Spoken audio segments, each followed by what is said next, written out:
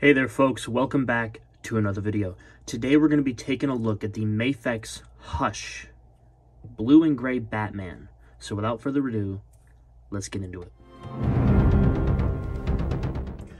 Alright guys, so to start off with, we're going to take a look at the accessories. We get quite a few unique accessories with this figure compared to, uh, when compared to some other Batman figures. But first up, some of the lesser unique pieces. We get a few different attachments for our Mafex base. Um, get these newer style clamps with the crotch piece or the uh, regular bit. So this kind of just slides on there like that. That way it's a different style of clamp as to one that's as to the one that's on the figure. This is more of your standard style Mafex base, and then you get all these attachments. This is the re-release figure, uh, or reissued rather. I'm pretty certain that the original one wouldn't have come with this, um, because I'm pretty sure the figure's maybe four or five years old now. I'm not sure, but you also get the uh, the um, hand. Uh, brackets or whatever you want to call these. I don't know. I'm pretty certain that these wouldn't have been a part of the original either. This is more of a recent thing that Mafex is doing. So as far as I'm aware, those are the only differences between the reissued version and the original release. Maybe the paint application is slightly different. I don't think anything else is though. But as far as the rest of the accessories, you get some unique stuff here like this. Um, this grapnel hook. This one is one that's being used. This is a metal piece right here. I do have a slight angle on it it's not that big of a deal though. But this can plug right into either one of your grapnel gun hands, which I like that it's molded into the hand. I appreciate that. And it's just a little metal piece right there to keep it nice and strong. Looks very sharp. And you get a short one as well. One that either has not been launched yet or is uh, just starting to get launched. However you look at it, I suppose. So those are pretty cool. Same head on both of them, and you get this kind of uh, chrome silver paint. You get the batarangs. You get two sets of batarangs here.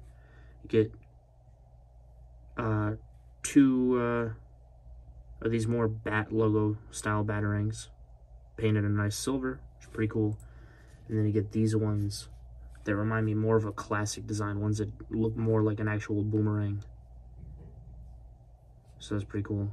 Again, nice paintwork on these. I do like that. You get a couple of interchangeable heads. First up, you get the Bruce Wayne head, which is only available with this figure. You don't get it with the black and gray variant. Uh, I don't know how I feel about this. I'm also not a big fan of the way the lips were painted. He's he's got no lips, and it's like just a line in there. It looks very strange. in some lighting, I think this could look okay. But I'm not the biggest fan of what we got going on here, so. But it's got some nice paintwork throughout the hair and stuff. Some gray, uh, bluish dry, uh, oh my god, blue dry brushing. So that's not bad. And then you get the stern Batman head. Not painted perfectly, the eyes are a little bit messed up and the placement of the skin tone's a little bit off. My personal favorite head is the one that's currently on the figure. And then as far as the hand goes, you get a pair of what I'm assuming are batarang holding hands molded in.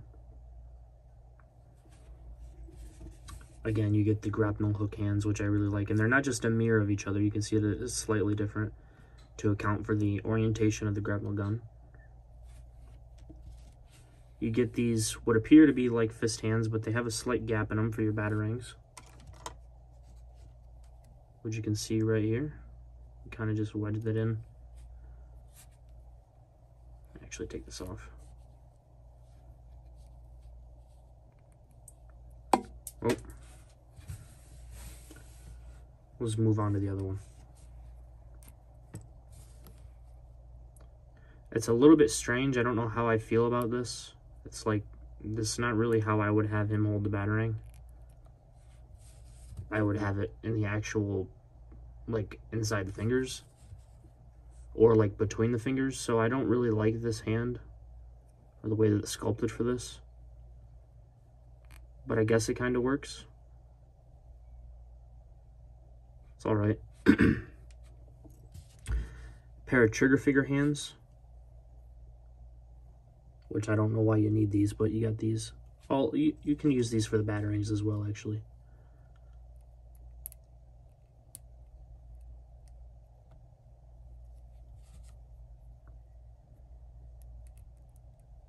Wedge it in there like that. Or you can go between the fingers. Yeah, I'd actually like that more, so that's nice. Then you get a pair of relaxed hands and a pair of grabby hands, so that's nice. And then, of course, on the figure, you get a pair of fists and you get this uh, angry head. And if you haven't noticed already, this pose is based off of the um, moment in the book, or the series rather, where uh, Batman punches Superman. I think you have to get the Superman figure in order to get the Kryptonite ring hand. So that's a bit unfortunate, but it's pretty cool. And I have the other hand kind of supporting the rest of the cape. So that's how that's going. But let's knock this guy off of here. Get him standing straight up and down. Uh, I was aware of this dude's issues before I picked him up, of course. But I mean, I still think he's a really solid figure overall. I think he's got a couple of things that are a bit strange. I'm, I think the belt is a little bit too big. And also mine's um, loose. I did that on purpose. Because um, I was already kind of swapping belts around to see what would look like. I want to use one of my Arkham city belts, or not Arkham City, Arkham Asylum belts on the figure, but I can't find it currently. I don't know where it is. Uh, but I think that would look really cool. But one of the big issues that this guy has for a lot of people is the size of the cape. I can see where they're coming from. It's a little bit frustrating. But I can't complain too much just because I think capes on figures are very annoying anyway. Um, that's why I love mostly messing around with my Spider-Man figures because I feel like capes just get in the way all the time and it kind of ruins the uh, the playability for me sometimes. I don't know why. It's just kind of my own weird thing. So capes always bother me, so it's kind of hard for me to um, kind of pick on this cape by itself because I have a problem with most of them. So whether they're plastic or fabric. But I think overall this guy looks really nice. I appreciate the size of it because it makes it different. It's, you know, got a really nice shape to it and it's got a couple of wires in there. It's got four wires, so that's pretty cool. I think the thing that I have the issue with more, I feel like this keeps going out of focus. But the thing that I have the issue with more is actually the way that the cowl, neck, and cape kind of connect to each other. I'm not sure if I like the way that the uh, way this is set up. In the comics, it would just be a smooth transition. It's not like a separate piece like you see in the films.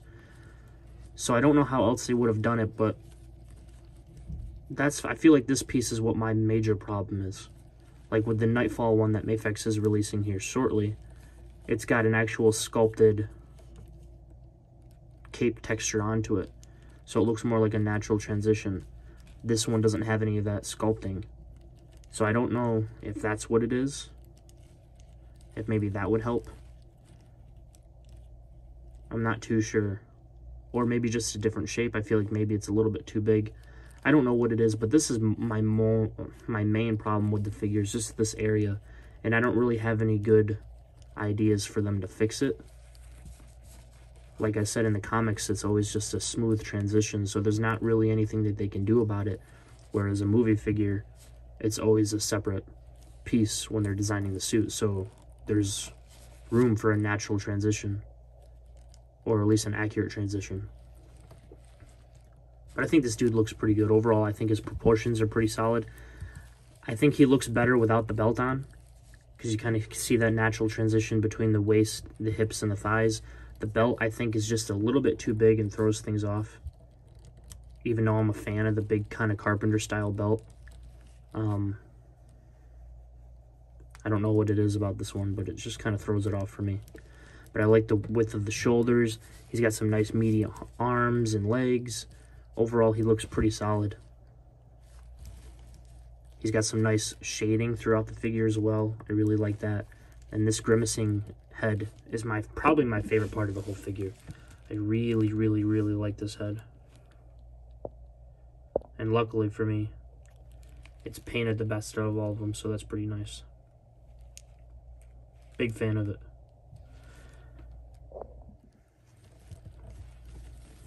But yeah, there's a, I mean, there's a lot you can do with the cape. I think it could use probably one more wire here in the back. And then it would be all set. But there's a couple of different things you can do. I like to tuck the cape behind the the fins back here to kind of get it to sit around the shoulders, but then kind of tame it back. That's something I like to do.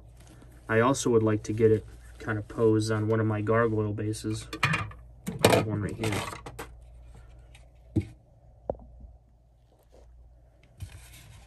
Get it kind of posed on one of these because the cape is so long that it goes just straight past his feet like it does in Batman Begins or whatever. That style of dramatic cape. So you can get him standing there and then just have the cape dangling straight down. So that's something I would like to play around with, depending on where I uh, decide to display him. I would love to get a lot of the other figures in the series, but I mean, I think they've done like 15 figures for Batman Hush so far. Um, the ones that I think probably the most important to me anyway, just because they feel really close to the definitive versions of the characters, is probably Nightwing, Joker, Harley Quinn, I guess Catwoman too. And uh, I would really like to see a Tim Drake Robin. And then you got characters like Scarecrow and Riddler. They're my favorite Batman villains. There's so many figures that Mafex is putting out. It's very, very, very exciting. I mean, even characters like Hush and Huntress, they both look really good. If I had the ability to, I would get them all. And a lot of them are hard to find now, so... But if they did a Tim Drake Robin, I would definitely pick that up. And even the blue and gray one. The only figure from the wave that I don't really care for is like the scuba suit Batman. But I hear that that cape is a little bit smaller, so maybe it's worth picking up to uh, swap out the suit or swap out the capes and then, you know, maybe sell it on eBay or something like that. I don't know.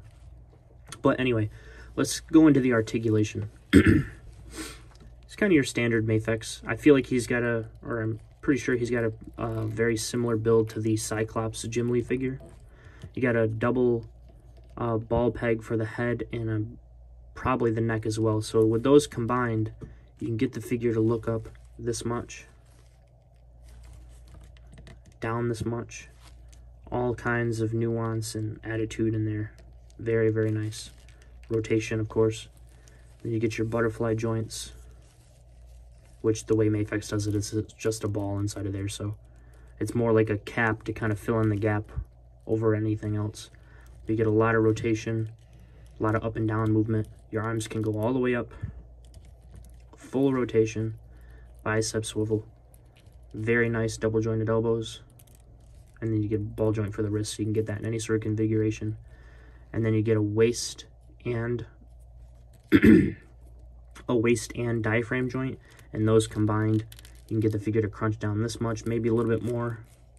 If the belt wasn't in the way, I'm not sure. Doesn't really feel like it. Get him to move back pretty far.